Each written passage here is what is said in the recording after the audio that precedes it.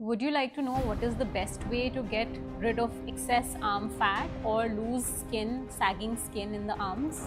Hi friends, I'm Dr. Aakanksha Goel from Divine Aesthetic Surgery.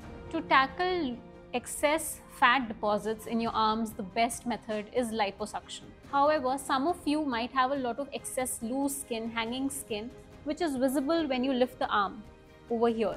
In such situations, the arm liposuction is not enough because after arm liposuction, there will be even more sagging skin. For those people who have sagging skin or expect to get an even more sagging skin after surgery, the best treatment is brachioplasty or arm lift.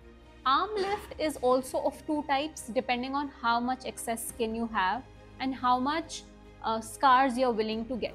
The two types of brachioplasty or arm lift can be short scar or long scar. With short scar, we give a smaller scar in the axilla or the underarm area and that will be visible only if you lift the arm up. This is the procedure of choice for people who have less sagging skin.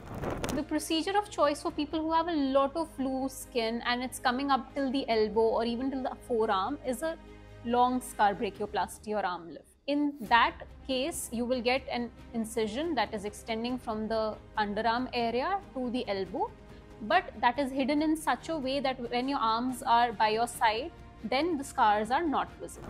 A special note for people who have undergone weight loss. So either you've undergone weight loss organically with exercise or dieting or you've undergone a surgery, surgical procedure like a bariatric procedure in both the situations, you would have a lot of loose skin in your arms and other parts of the body. For you, brachioplasty is the best, best procedure and uh, you can even combine it with body lift of other areas like a lower abdominal tummy tuck or a belt lipectomy or even an upper chest lift or a breast lift depending on your need. If you have any queries regarding an arm lift or brachioplasty or an arm liposuction, do contact our team.